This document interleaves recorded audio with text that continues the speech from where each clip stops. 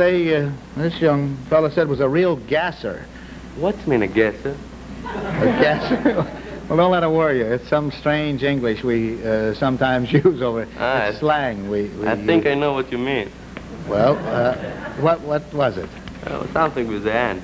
Can you do it for us? Yeah, sure. Go ahead.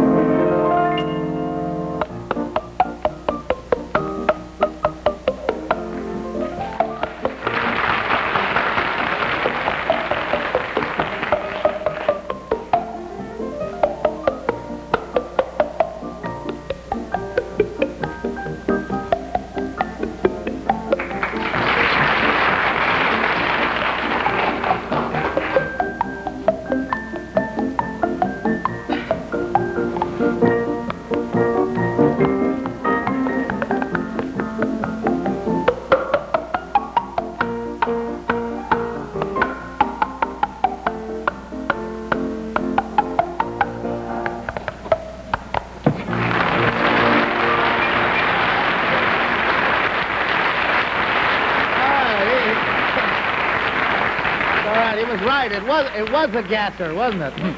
From Florida State University's Flying Circus.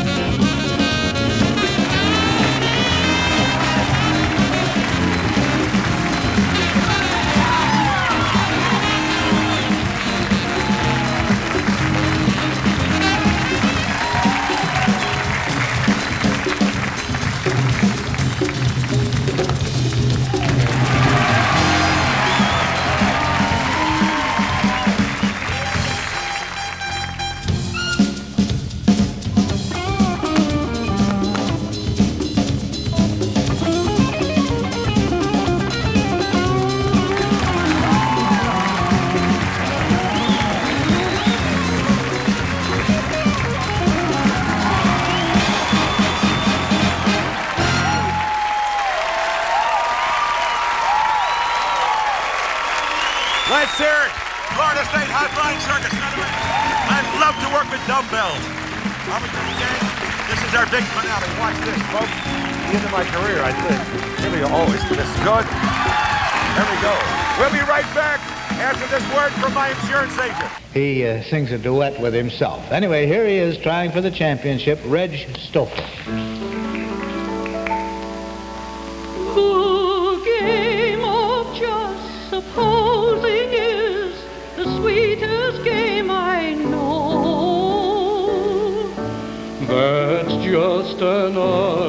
Unimportant technicality.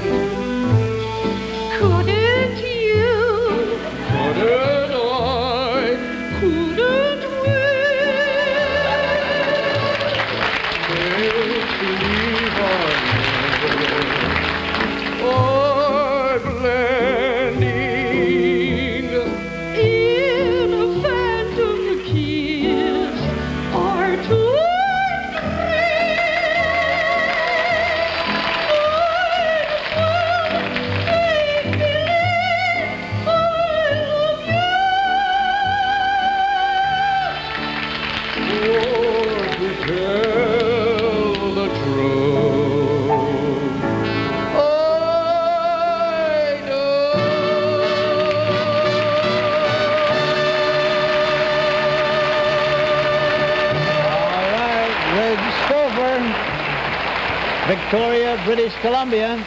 Here's something to feast your eyes on over here. 16 housewives who play kitchen utensils.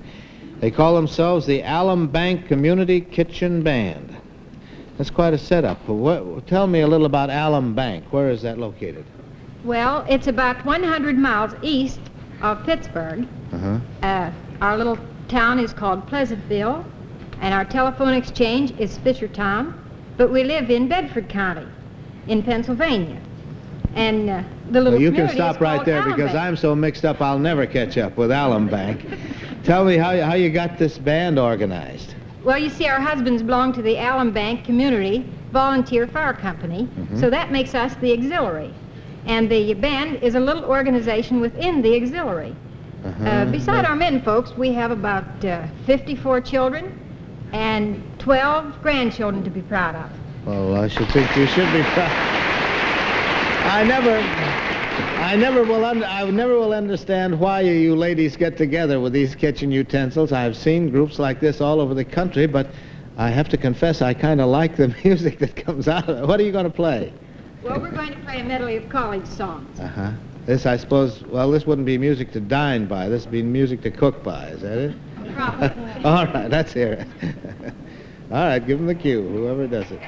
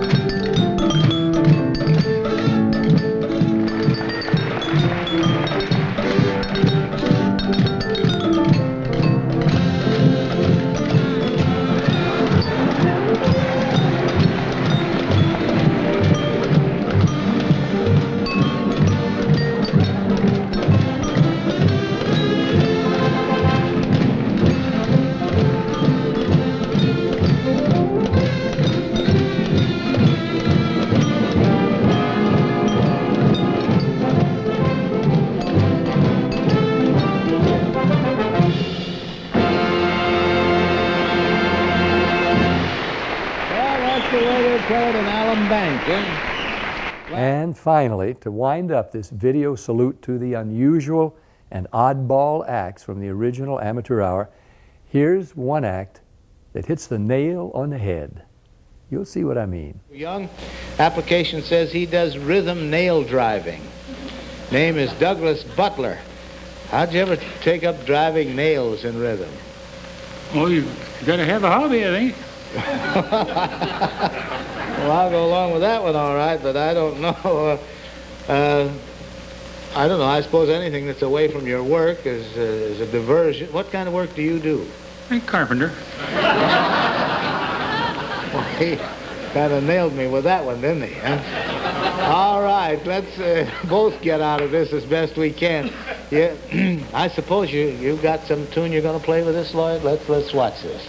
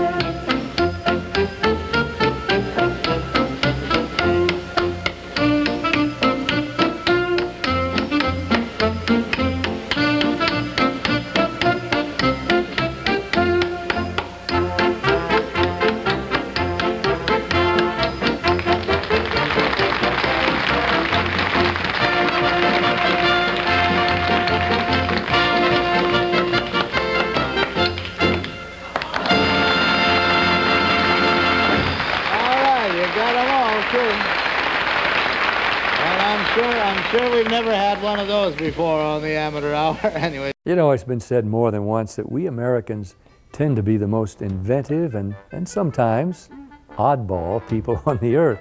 And over the years, the original amateur hour gave credence to that philosophy. But the show never made fun of the acts. It just let the home audience enjoy the unique talents and the ambitions of people who, like themselves, just wanted to make their mark on society in one way or another. What you've seen are a collection of acts, some good, some unusual, but all talented in their own and sometimes wacky ways. And like me, when they appeared on the original amateur hour, they were all able to avoid this, the gong. Thanks for sharing a few laughs and a few memories with me. I'm Pat Boone.